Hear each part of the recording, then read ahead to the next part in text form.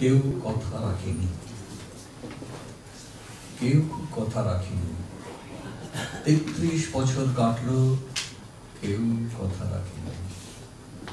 ছেলেবেলায় এক তার আগমনী গান হঠাৎ থামিয়ে বলেছিল শুক্লা দ্বাদশের দিন অন্তরাটুকু শুনিয়ে যাবে। তারপর কত চন্দ্রভূক অমাবস্যা চলে গেল, কিন্তু সেই বষ্টুনি না এলো না। পঁচিশ বছর প্রতীক্ষায় আছে। মামা বাড়ির মাঝে নাদের আলী বলেছিল, বড় হও দাদা ঠাকুর, তোমাকে আমি তিন প্রহরের বিল দেখাতে নিয়ে যাব। সেখানে পদ্ম ফুলের মাথায় সাপ আর ভ্রমর খেলা করে। নাদের আলী আমি আর কত বড় হব? আমার মাথা এই ঘরের ছাদ ফুঁড়ে আকাশ স্পর্শ করলে তারপর তুমি আমায় তিন প্রহরের বিল দেখাবে? একটা রয়্যাল গুলি কিনতে পারিনি কখনো। লাঠি লজেন্স দেখিয়ে দেখিয়ে চুষেছে লস্কর বাড়ির ছেলেরা।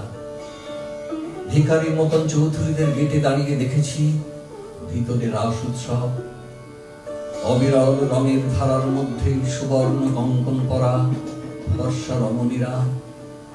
কত রকম আমাদের এসেছে আমার দিকে তারা ফিরেও যায়নি। বাবা আমার কাঁধ ছুঁয়ে বলেছিলেন, দেখিস, একদিন আমরাও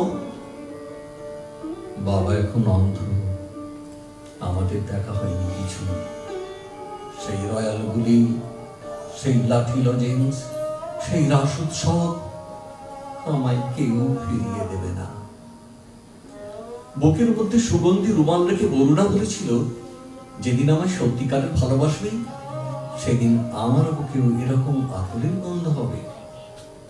ভালোবাসার জন্য আমি হাতের মুঠোয় প্রাণ নিয়েছি দুরন্ত ষাঁড়ের চোখে বেঁধেছি লাল কাপড়। বিশ্ব সংসার তন্ন তন্ন করে খুঁজে এনেছি একশো আটটা নীল পদ্ম। তবু কথা রাখিনি বরুণা। এখন তার বুকে শুধুই মাংসের গন্ধ। এখনও সে যে কোনো নারী। কেউ কথা রাখেনি। তেত্রিশ বছর কাটলো, কেউ কথা রাখেনি।